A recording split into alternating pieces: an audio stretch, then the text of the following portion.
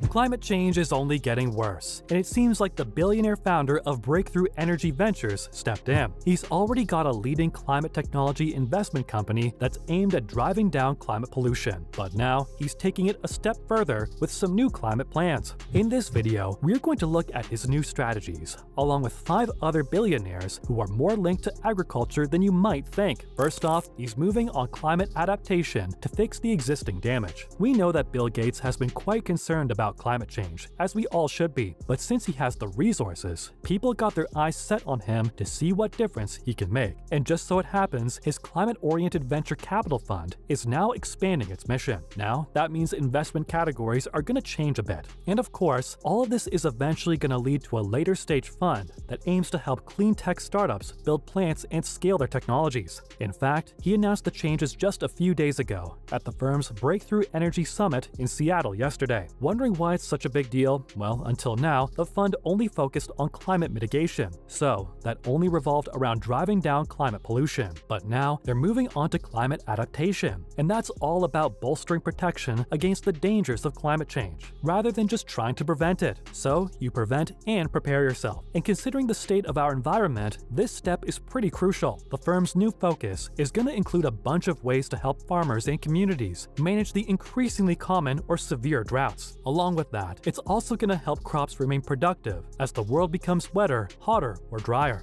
and they're gonna do that by indoor farming and genetic alteration. Following up, Bill Gates thinks rich countries need to step up. We're not gonna disagree here. Rich countries have the resources to step up their spending so they can speed up innovation and technological advancement. Of course, that's gonna help the world reduce greenhouse emissions. At least, that's what Gates said. He thinks that developing economies are also responsible for most of the same emissions that cause global warming. As for low and middle income countries, we shouldn't be expecting them to show the development of their economies for the sake of reducing greenhouse gas emissions. At least, when other countries have better resources, they could invest more easily. So, Gates definitely has a point there. The co-founder of Microsoft even pointed out that some of the richest countries, like the United States, also owe a lot of their current wealth to the burning of fossil fuels, and it's only understandable to expect them to fund the innovation process of technologies that's going to decarbonize all sectors of the economy. Moving on, he even published an essay to share his opinions on the world's reaction. We definitely suggest giving it a read. In the essay, State of the Energy Transition,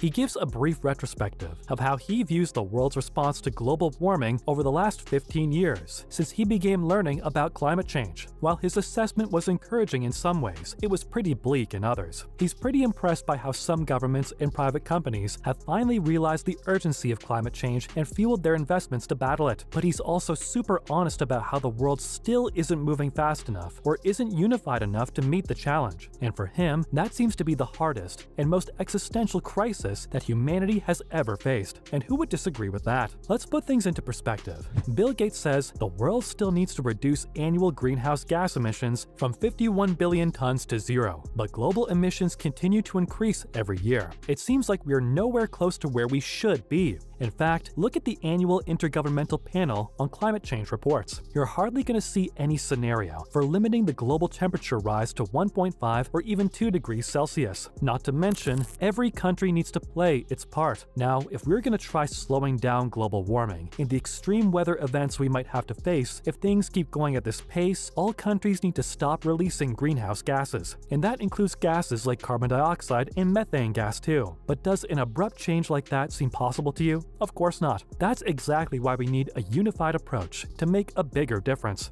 Bill Gates says that the proper measure of success is literally greenhouse gas emissions worldwide. In the next three years, we've got to drop to zero. And for that, the world needs to create and deploy technology that's going to enable the same economic activity as burning fossil fuels. But all of that is with no greenhouse gas emissions. But there are manufacturing costs, production costs, agriculture, transportation, and building costs. Who's going to take the financial liability here? So, the only workable solution, according to the billionaire, is to simply make better and cheaper alternatives that don't emit greenhouse gases. And of course, for that to happen, richer countries need to be at the front. Finally, cleaner and cheaper alternatives just might save our planet. Now we know that developing countries are the major culprits here, but along with that, they've also got the responsibility to achieve the standard of living their people need right now. Many countries in Europe and North America filled the atmosphere with carbon to get where they are now. And for Gates, that's both unrealistic unrealistic and unfair to expect everyone else to just let go of a comfortable life, because that same carbon is now changing the climate. So, the difference hides in the cost between cleaner alternatives and conventional ones. To bring this down, we need to make clean alternatives available at an affordable cost, so countries have the financial privilege to choose them over fossil fuel burning alternatives. And for that, we're gonna need government intervention to speed up the process. It might take longer than expected, but getting everyone on the same page isn't the easiest task in the world. A unified approach is the only way we're gonna achieve this. Now let's look at other billionaires who are into agriculture and why. Let's start off with number 5 with Harry Stine. For many, agriculture might be the perfect investment opportunity that pays off big, but if you look at the very rare, yet existing, philanthropy-minded billionaires, they're out there trying to help the less fortunate. If we talk about Harry Stine, he's got at least 900 patients under his belt. The founder of Stine Seed made his money through plant genetics he sells to the big boys. Yep, we're talking about Syngenta and Monsanto, and a bunch of others. In fact, at least 60% of soybeans grown in the US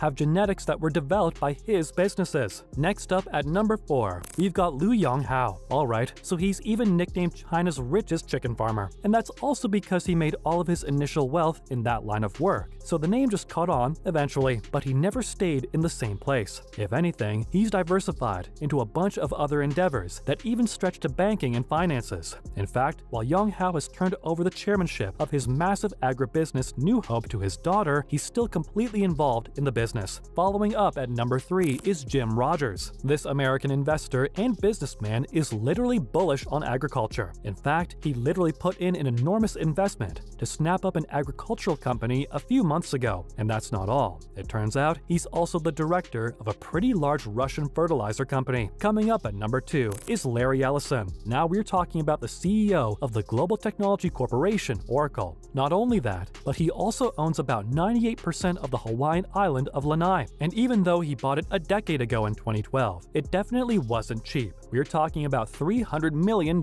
here. He's got some ambitious plans to ramp up the island's sustainable agriculture capabilities by building a state-of-the-art facility that's going to involve both aquaponics and hydroponics. Along with that, he hopes to feed the island's 3,000 residents and even get thousands of tourists coming in every single year. Last but not least, at number one, we've got Bill Gates, the best known billionaire, who, as we mentioned, got a lot of plans for agriculture. And if that's not enough, he's also got the resources to fuel his plans. In fact, the Bill and Melinda Gates Foundation has also become one of the world's largest supporters of agricultural research and development. Along with that, it's also the number one funder for research into genetic engineering. That's a wrap for this video. What's your take on Bill Gates' new climate plans? And while we're at it, which one of the five billionaires were you shocked to see on that list? Let us know in the comments below. Give this video a thumbs up and subscribe to our channel for more videos like this. See you at the next one.